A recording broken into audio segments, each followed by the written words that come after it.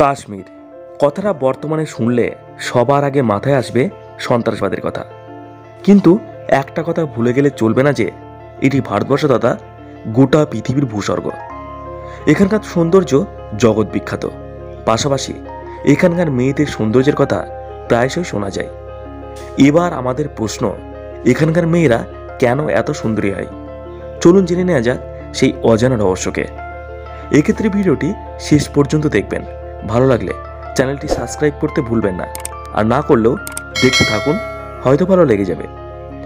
এক্ষেত্রে প্রথমে আসা যাক জিনগত কারণ। জিন হলো সুন্দরতার একটি প্রধান কারণ। তাই কাশ্মীরের একটি প্রথা হলো কাশ্মীরি ছেলেদের সাথে কাশ্মীরের মেয়ের বিয়ে হয়। আর এজন্যই আজকের কাশ্মীরিরাও তাদের পূর্বপুরুষদের মতোই দেখতে। এছাড়াও এদের ডিএনএতে সাউথ ইন্ডিয়ান উপজাতির অনেক বৈশিষ্ট্য কম পাওয়া যায়, যার জন্য এরা খুবই ফর্সা হয় নাম্বার দুই, ক্লাইমেট। এদের সৌন্দর্যের পিছনে আরেকটি কারণ হলো আবহাওয়া।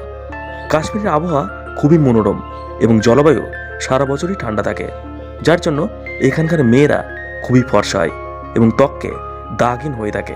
যার ফলে এরা খুবই আকর্ষক হয়, যা অন্যান্য রাজ্যের তুলনায় এখানকার মেয়েরা খুবই সুন্দরী হয়ে থাকে। নাম্বার তিন, কেশর। কাশ্মীরে খুব ভালো কেশর পাওয়া যায়। তবে কেশর শুধু ত্বকের গ্লো বাড়ায় না, বরং ত্বকের উন্নতি ঘটায়। তাই বলা যায় যে, এখানকার মেয়েরা কেশর ও চন্দন পাউডারকে দুধের সাথে মিশিয়ে পেস্ট করে নিজেদের মুখে লাগায়, যা ত্বকের জন্য খুবই ভালো। নাম্বার চার, আখরোট। আখরোটে ওমেগাও নয় এবং ওমেগাও ছয় থাকে। এছাড়াও অনেক রকমের ফ্যাটি অ্যাসিড পাওয়া যায়, যা কোনো ব্যক্তিকে স্বাস্থ্যবান বানানোর সাথে সাথে সুন্দর করে তুলতে সাহায্য করে। এছাড়াও এখানকার মেয়েরা আখরোটের তেল চুলে লাগায়, যার জন্য এখানকার মেয়েদের চুল খুবই সুন্দর হয়। নাম্বার পাঁচ, বাদাম। এখানকার মেয়েরা নিজেদেরকে সুন্দর করে তোলার জন্য বাদামের ব্যবহার করে থাকে। বাদাম ত্বকের জন্য খুবই উপকারী। নাম্বার ছয়, কাশ্মীরিরা মিল্ক ক্রিমকে খাওয়া দাওয়ার পাশাপাশি ত্বকে ব্যবহার করে থাকে।